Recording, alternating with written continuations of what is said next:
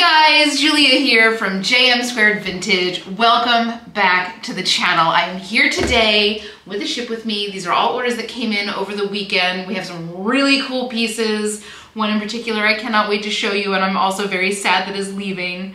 You know, I'm gonna be mourning about this one for a little bit, but I hope you all had a fabulous weekend. I'm just back in. I was back in Utah visiting some friends this weekend, meeting my friends' sweet little babies. So I hope your weekend was just as wonderful. But before we get started here, guys, if you are new, first and foremost, welcome. I am Julia. Uh, that's my name. We talk all things thrifting and vintage and reselling on the internet here. If that sounds like something that you are into, don't forget to hit subscribe down below. I would love to have you along on this journey. We're building this great community and we have a lot of fun here. But without further ado, guys, um, surprising to nobody, I'm running late. It's already afternoon. I should have done this two hours ago.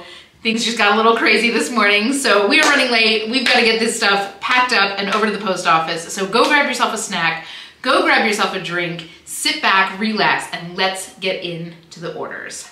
So first up here, and this is, I like, I feel like I'm just starting these all with stark reminders of the fact that it is spring, it is summer, people are shopping for spring and summer, so let's get those things listed. This is a pair of uh, bikini bottoms from Malai, M-A-L-A-I.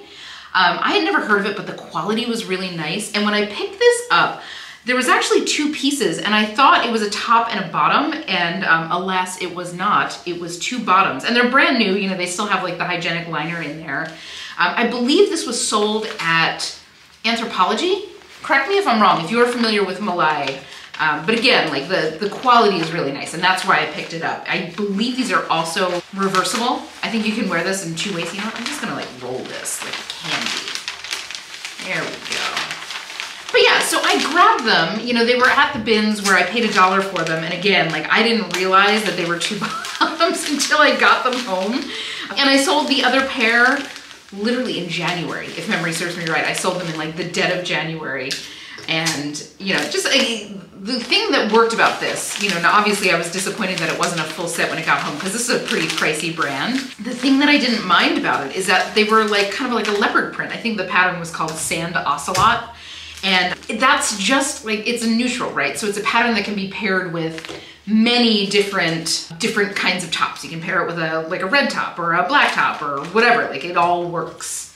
So I didn't think that these were gonna be tough to sell, but I'm glad this one is on its way. So I had these for about five months. I, I also picked these up like right at the end of summer. So excellent decision making, Julia. So I had this listed again for five months at $18 and I got an offer for $13, which I did accept. I got these for a dollar at the bins and that brought my profit to $9 even. So, you know, when you're dealing with like a single you know, piece of a bathing suit, I try to be cognizant about the fact that I may or may not get like another offer for a while and I wanted to move these on. Next up here is this pretty gauze top from Joie, J-O-I-E. Now, I've, I've had a lot of comments from people saying that Joie has really slowed down for them, and it has slowed down for me as well. That also doesn't mean that it's a bad buy, right? So depending on what you can source this for. So if you are paying eight, nine dollars for a shirt, this is probably a, not the bet that I would make right now you know, especially if it's something that's got a little bit more of that like early 2000s twee feel to it. Like they make some really beautiful boho, boho blouses that I sell very, very well. But something like this is a real classic. Now I was able to source this from the bins for a dollar. So it's not a bad investment for me. Like I, you know, I'm not gonna be making $50 that I would have been making a couple years back on Joie because Joie is expensive. Like they retail for like I want to say that they retail for like $250. They are not cheap. And the quality is beautiful, but you know, a couple years back, you would have made $50 on this, no problem. So this was an easy like brand that you could just pay up for and not even think twice about.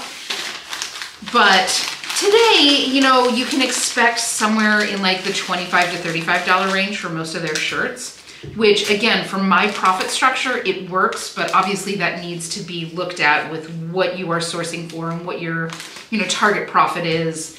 Uh, you know, some people don't ever want to get something, you know, where they're making less than $30 profit and like props to you. This probably won't work for you, but for me, I think this works great and that's a beautiful little like perfect summer basic, light as a feather, a little sleeveless top. So I had this for about two months and I had it listed for $33 and I got an offer for $26 which I did accept with a $1 cost from the bins uh, this brought my profit to $20.94 super happy about that great little shirt and I hope she loves it now, next up, now this is a piece I absolutely loved. And to be clear, if this was in my size, this would not be leaving. This is a little top from Zara.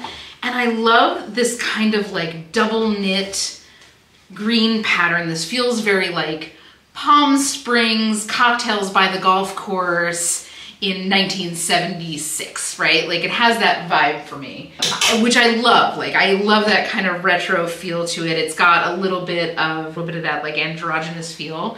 I just love it. And I'll tell you, I got so much interest on this. This is one of those ones that I had yeah, I, I cross list most of my things on Poshmark and Depop and eBay and Mercari. And every once in a blue moon, I have something that really, I, and I do use Vendoo, like in case you want to know what I use to cross list. It does cost money, but it saves me a boatload of time in terms of managing my work and in terms of managing my inventory. And I know that Posh Sidekick, I've talked about, I talked about Posh Sidekick, I think, I think it was in my last ship with me and they're wonderful and they do have a new cross posting function. So um, if anybody uses that let me know. I'm just i'm very intimidated about moving all of my inventory over. I've got many hundreds of pieces and I think it might be a ton of work that I don't have the time to do right now, but it is probably something that I will do in the future because it would be nice to consolidate. I do love my Posh Sidekick. It, it is a, uh, my Sidekick is basically a virtual assistant that shares all of my listings for me multiple times a day. It shares my listings to parties.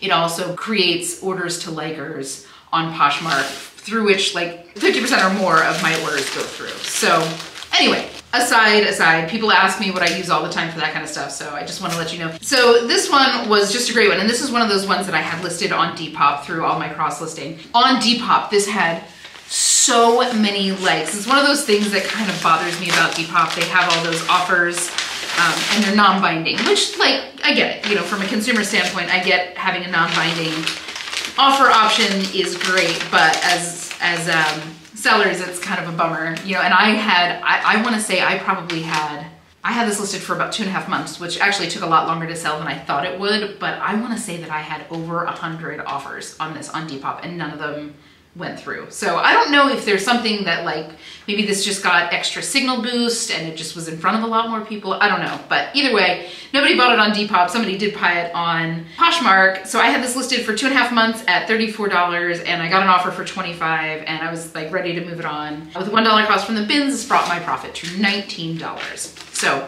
super happy to get this moved along despite the fact that I absolutely love this shirt. And it is something that I have been on the market for something like that in my size. So next up here, now I have sold a million of these. I will sell a million more. I will pick them up every time I see them. This is a little burnout velvet kimono with a fringe trim.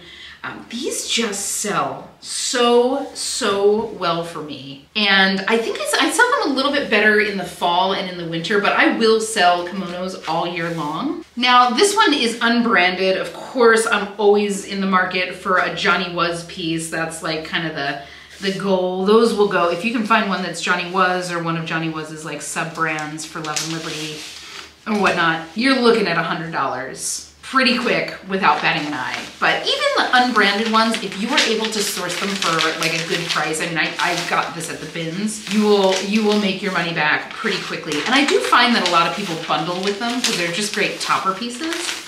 But either way, definitely if, if you find one while you are out on your hunt and it is like a reasonable price, pick it up because it will sell. It's a guaranteed mover. And I know we're all out there for those big $100 sellers, but there's something to be said about something that you can pick up and know that it will move, you know, quickly within a week or, you know, within a couple weeks. So this one I had listed for $26. Again, this was unbranded. There was no brand at all in here.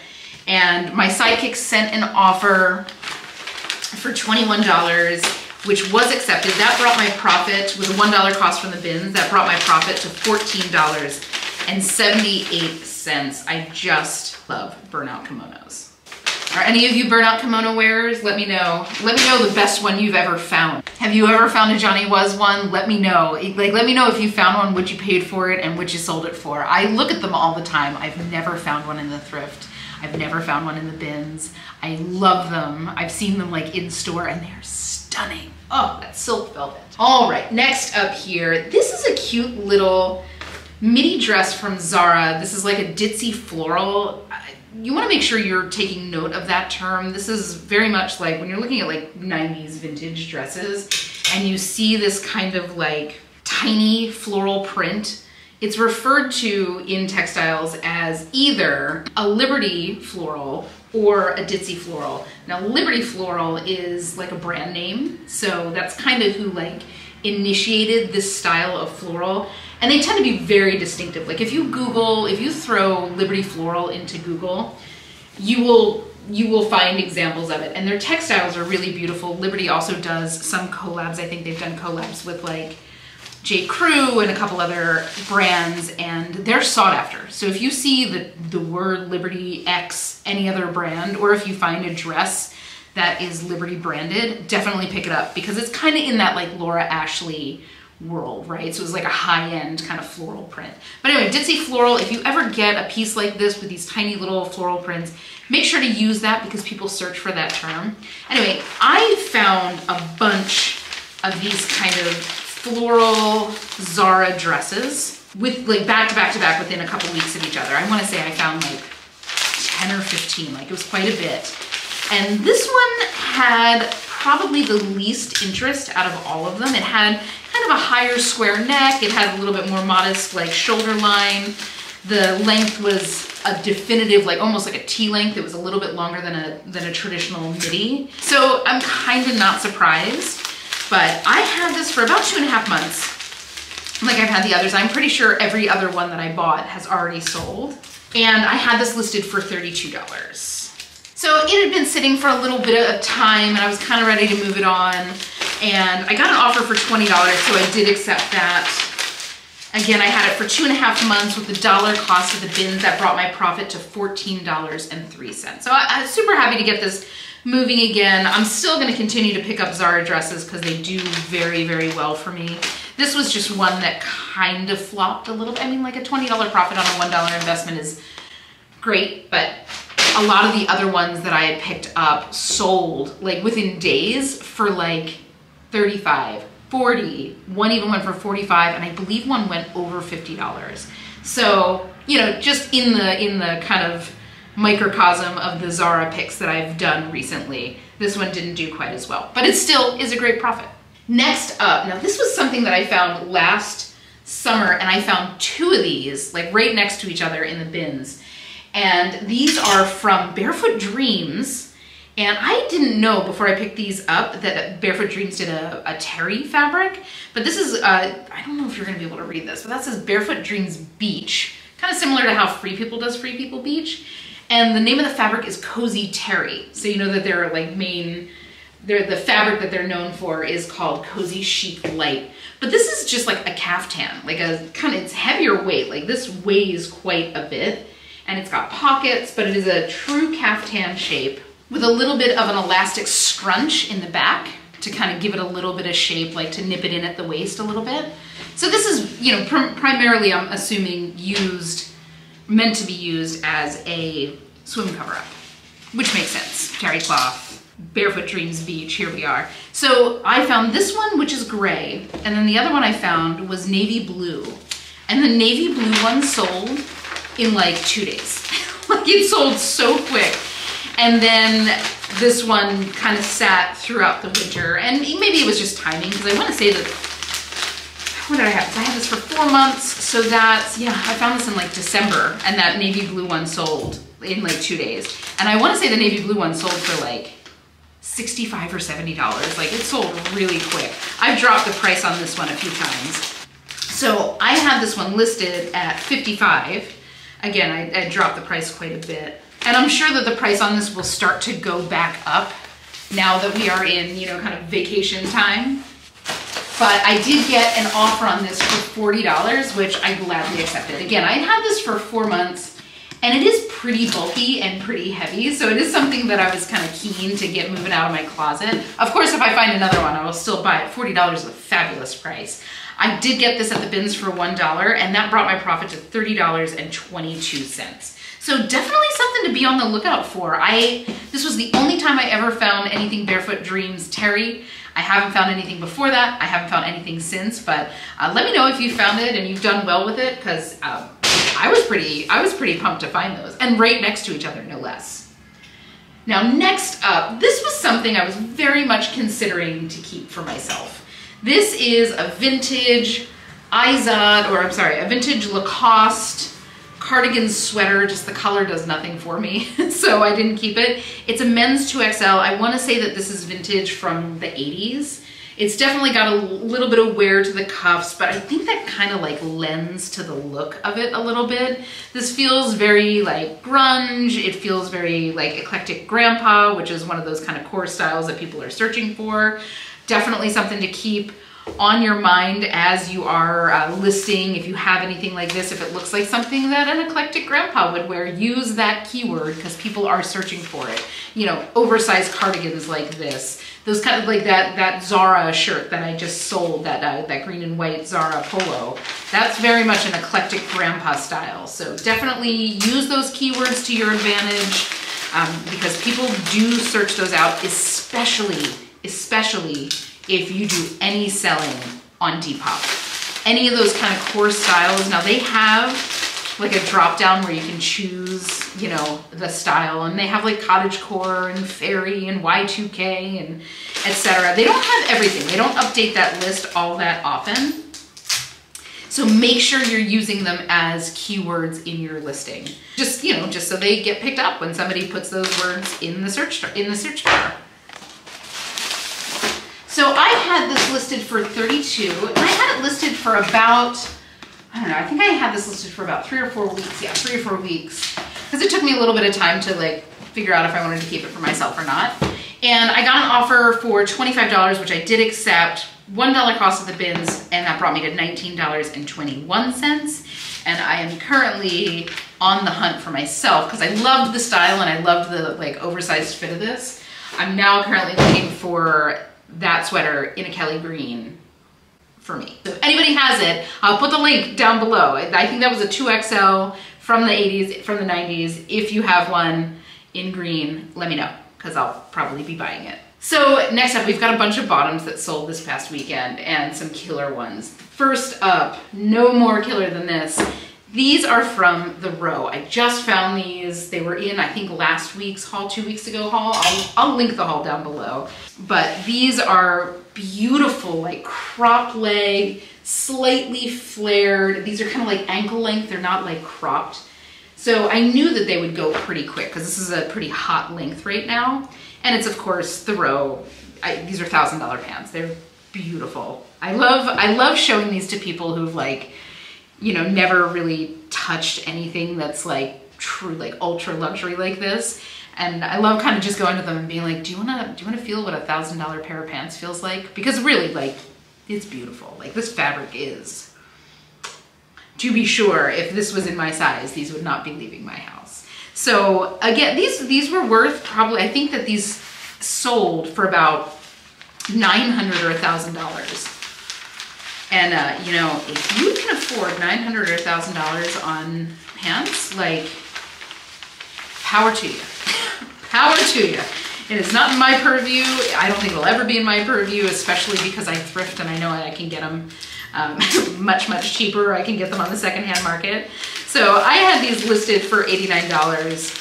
And, you know, I might have been a little low on that. I was looking at sold comps, and the sold comps on their pants range anywhere from like $20, and I'm assuming something $20 is coming through like a Posh Show, all the way up to like 300. So, you know, again, I, I got these at the bins for a dollar, so I'm not, you know, I don't want to be, I don't want to sit on these and wait for like that top dollar. That's not how my business works. So I had them listed for $89 and within two days I had an offer for 75 which I did accept. Oh, these pants are fabulous. Dollar cost of the bins, which I will never stop nerding out about that. But that brought my profit to $65.21. I am pleased as punch about that and I hope she absolutely loves these because these pants are made like a dream. Next up, oh, this is such a cool find. I've had this for a little while and it's funny, when I picked this up, there's a girl that I'm friendly with in my bins and I kind of picked this up and I mean, I want you to get a good look at that. Like, it's interesting, right? Like this is an interesting skirt. And I felt it and the first thought on my mind was like, this is like nice. Like there's a lot of workmanship on this skirt and the other girl, she was kind of across the bin from me and she looks at it she's like, that looks like somebody's, you know, fashion school project. And I look at her and I say like, no, no, no, this is something special. So the brand, the designer on this, and I'm just gonna put some tissue paper over this to kind of try to keep these jewels in place as I fold this. And I look at her, I'm like, no way. I'm like, this is something special. This is something like high end. Hold this here. And turns out the designer on this, his name is Matthew Williamson. Okay. I think that's good. And he was a big designer out of the UK in the early 2000s. And I mean like this reeks of early 2000s, like Paris Hilton. It's low rise, it's like mermaid colors, it's bling all over the place. And I found a couple other things. I never found this skirt. I, for all I know, this could be like a one-of-a-kind skirt. This could have been a runway piece for all I know. Again, there's a lot of work in it. Like it's, it's beautifully done. You know, the, the thing that I found similarly, it sold for like $1,400 or, or, was on sale back in the early 2000s for about $1,400. So Matthew Williamson is a high-end British designer. I've never seen another piece from him, never before or never since, uh, but definitely a brand, uh, definitely a designer to be on the lookout for. If, if any of you have ever found another Matthew Williamson piece, let me know. I don't know how common he is. I would say he, it's a bolo, but I just don't know how often you're gonna find one. I find, I, you know, I consider myself pretty lucky to have found this and those row pants, like, of course, immediate buy if you see either of those designers. So let me know if you've seen something like this while you were out and about. So anyway, I had this listed for $75 and I did have it listed for six months. I, I, knew that this was going to be one of those pieces that took a while to sell. It is not only, it's a pretty small size, but it is also like a very specific person who's going to be buying this. So I had it listed for $75 for six months and I got an offer for $50, which I did accept. And with a $1 cost from the bins, this brought my profit to $37.79. Such a fun skirt. I literally had this listed in my inventory as like the mermaid skirt because it is, it is just so bling. It is so early 2000s and I hope that buyer loves it. So next up here, we've got this pair of Eddie Bauer ripstop pants. Now, I've had these for a while. And I wanna say I got these at one of my bins locations that's pay by the pound. And if memory serves me right, it was kind of the more expensive location that's a pay by the pound. But Eddie Bauer is one of those companies, like Eddie Bauer's been around forever. They make really like excellent quality outdoor wear, but they don't resell for that much. So you know, it's something that if you can source for a reasonable price, like by all means grab it. Eddie Bauer will sell, like there are people that seek it out. You know, certainly people know it. But if you are planning on any kind of hiking or some kind of trip where you're gonna be doing some serious hiking and you want some like technical clothing, technical clothing, I mean, you're not gonna be buying like mountaineering gear, but you know, you don't wanna pay the Patagonia price. You don't wanna pay the, the North Face or the Fjallraven, whatever it is, check out Eddie Bauer. Like Eddie Bauer makes really good quality stuff. And I, when I say like they make really great quality stuff, like I would not hesitate to sell, tell somebody to go and buy Eddie Bauer stuff for like an expedition, like a mountaineering expedition. especially if it's not something that they're gonna do over and over and over and over again. You know, like don't spend that kind of money. Like if you're if you're gonna only be doing it once in your life, like get something like Eddie Bauer where you can get a really inexpensive on the secondhand market and have every shred of that quality. So I had this for six or seven months and I had it listed for $28. I cannot read my own handwriting. $28 and my sidekick sent an offer for $25 which was accepted. This one had a cost of $2.99 from the pay by the pound bins and that brought my profit to $15.48. These were a great pair of pants. And I hope they go on some adventures with the buyer. Now next up is something that I know a lot of people do really well with and I've never really picked them up before I grabbed these. And this is a pair of figs. Now, I don't know figs that well. Of course, I do not work in an environment where I need to wear scrubs. So I wasn't sure when I first picked this up, and I'll tell you, I had a heck of a time trying to figure it out. I wasn't sure if these were men's or women's, and that's a problem, you know? So I did a lot of research, and it turns out these are men's, and I guess the men's sell a little bit less well because they have less like color availability. I don't think that figs sell like they used to. I know a lot of people used to do very well with them, but I think it was a lot of like a limited color drop that like sold out. I think that's kind of where that landed. If any of you were kind of involved in that or you did a lot of figs in your sales, like let us know, like let, let us know kind of what it was that was so red hot about them and how you're doing with them now. This was my first foray into figs and I don't know if it's gonna be something, I don't know if it's really for me, because I don't know what I'm talking about. You know, I'm not in the medical field. I don't know many people in the medical field, so I don't really have anybody that I can like ask about this. So it's maybe not for me, but you know, I'm glad I gave it a try and I'm glad I learned something. So these I had for, I had listed for a month, but I've had these for probably four months just one of those things that I wasn't super excited about listing and I knew I had to do some research and learn about it and I just wasn't really enthused, which is all the more reason for them not to be something that I pick up. You know, like you should really be picking up what like beats your heart because you can usually speak a lot more passionately about it. But so I have these listed for a month, despite the fact that they've been sitting in my house for quite a bit longer. And I have them listed for $26 and I got an offer for $18, which I did accept with a $1 cost of the bins. That brought my profit to $15.92.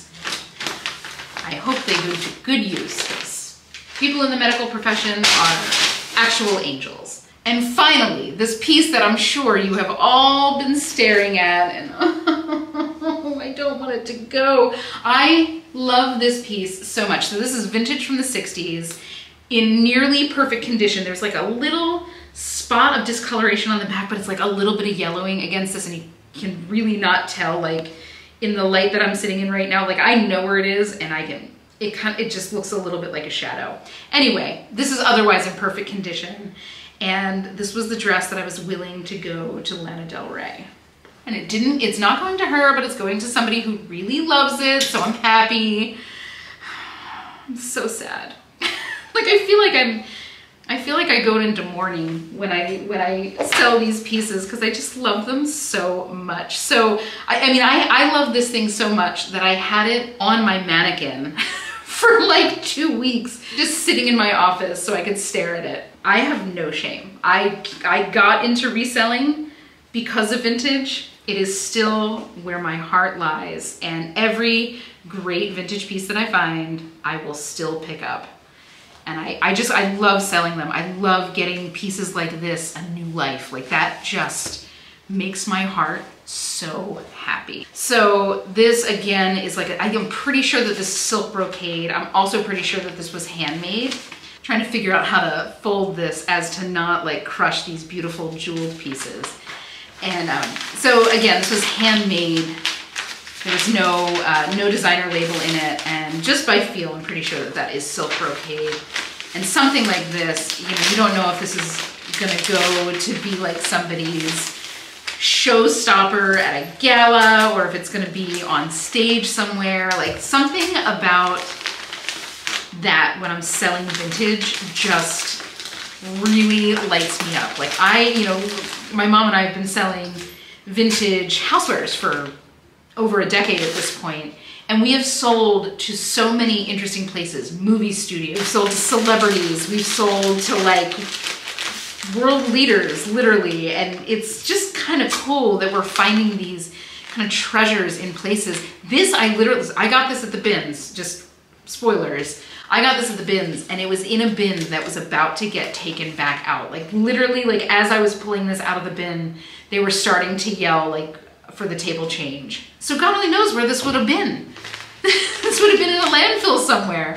So I'm just so excited that I get to be, you know, the kind of part of the chain of custody of this of this dress. And I get to, you know, shepherd this. I get to be I get to be a good custodian getting it from the original owner who obviously loved it because this is well preserved to the next owner who will hopefully also love it. And then hopefully when they're done with it, they'll sell it to somebody else who loves it. And it doesn't end up back in the bins and these, these treasures can just keep living their beautiful lives. So I just, like, it makes my heart so happy.